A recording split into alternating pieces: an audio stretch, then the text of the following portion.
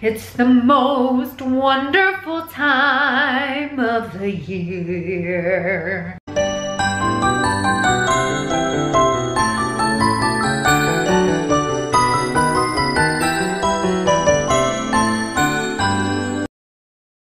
guys welcome back to my channel um, today is vlogmas day 21 and i just wanted to sit down and talk to you guys on how you can stay tra on track for the holidays.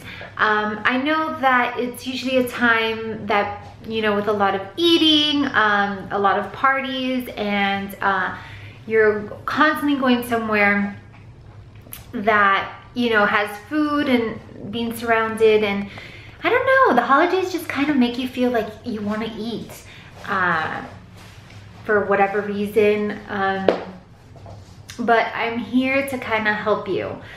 Uh, first thing is that you need to enjoy the holidays. Um, we basically are always on diets, um, you know, 363 days of the year. Um, so two days that you're not super strict on your diet is days of the year is not gonna kill you. It's not gonna make or break you. Um, so just really enjoy. During the holidays, it's supposed to be one of the most amazing, wonderful times of the year. And I feel like everyone is just so stressed that we don't sit down and take the time to really enjoy and focus and reflect on what the holidays are all about, which is being with your family, having a good time, reminiscing, reflecting on the year that has just gone by. But most importantly, it's sharing those memories with your family uh, and your loved ones because you never know when they're not going to be here. My number one uh, advice that I would give. Another advice that I would give is you could try a little bit of intermittent fasting. Um, so you would just kind of, let's say you stop eating at around 8 o'clock at night um, the night before or even 10 o'clock, you wouldn't start eating until maybe 1, 2 o'clock p.m. the following day. Um, you could have water, um, tea, coffee without any cream, um, and then you'll have that window of time between 2 and let's say 8 or 9, and that's when you would eat.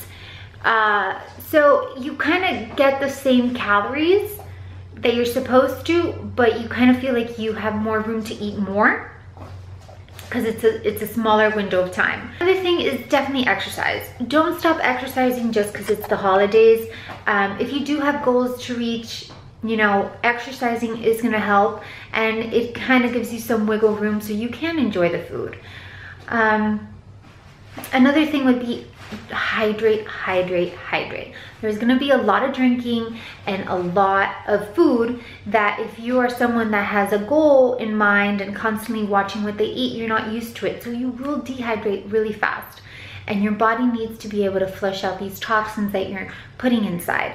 So definitely drink a lot of water. That's very, very, very important. Something else that I wanna point out is don't make food the priority. Um, you're gonna have so much food around, but it's gonna go. Like it's not gonna, people, they come and go. Food's always gonna be there. So don't make it your number one priority. Maybe sit down with a cousin that you haven't seen in a couple months. Talk to them, see what's going on. Maybe you have a cousin that came or a family member that came from the war. Talk to them, see what's going on. Someone might have just gotten married. Um, just really get to know your family. Maybe you'll find out something about them that you had no idea.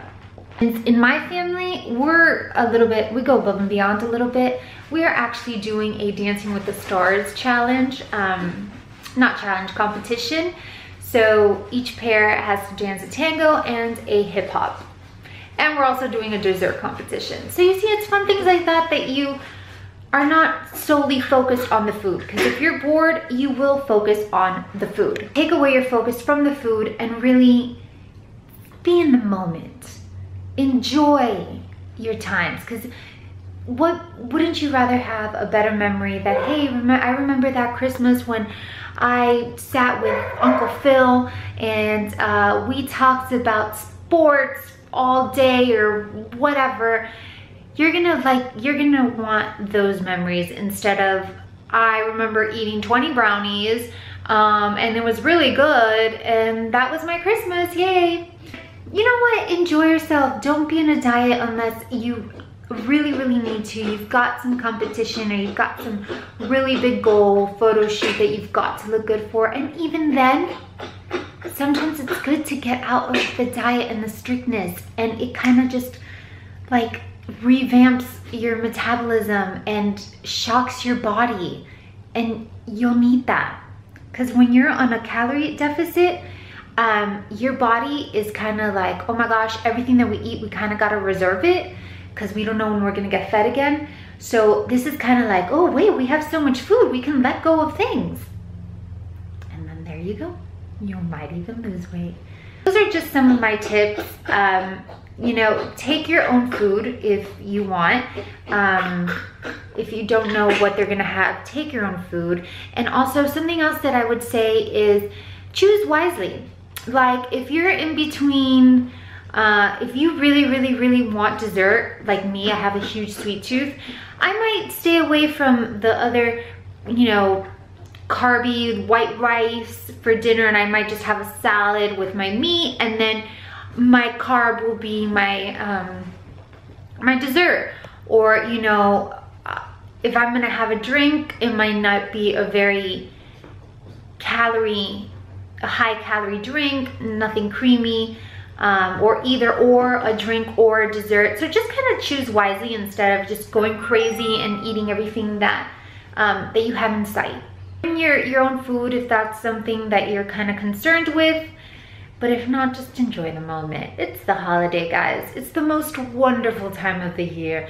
It's the most wonderful time of the year. Am I not a good singer? So that's it for today. I hope this helps. Um, give this video a thumbs up and I'll catch you guys in the next one. Bye.